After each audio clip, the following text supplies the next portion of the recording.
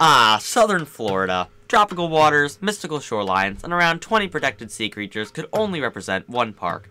Everglades. Wait a second.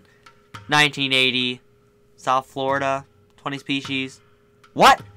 Okay, sorry, we're not talking about Everglades. Hang on to your seats, there's a new park in town, Biscayne. The start of the family that would become influential to the birth of the park began in 1892 when an African American by the name of Israel Jones moved to Florida from North Carolina in search of work. Jones settled in Florida and moved to Biscayne Island, a part of the Florida Keys.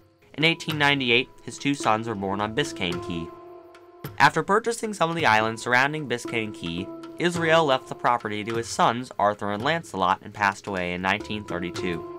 After several decades of fighting to keep the land from real estate brokers, the area was finally donated to the country and became a national monument in 1968. By 1980, the South Floridian Islands had been upgraded to a national park.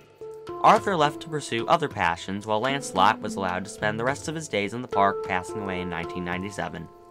What's interesting about Biscayne is that like Acadia National Park, you must take a ferry to access the park.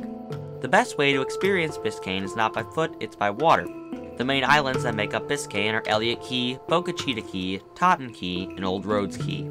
Before diving into the keys themselves, make sure to check out the Dante Fascell Visitor Center, which features artwork of the surrounding area.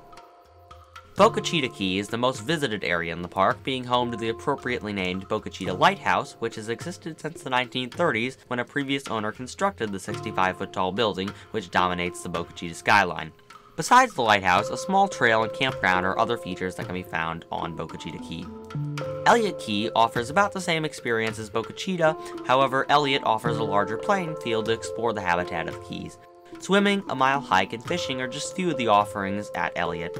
Totten Key and Old Rhodes Key don't have any civilized areas on them, but are great places to go snorkeling and scuba diving as many shipwrecks have been found here.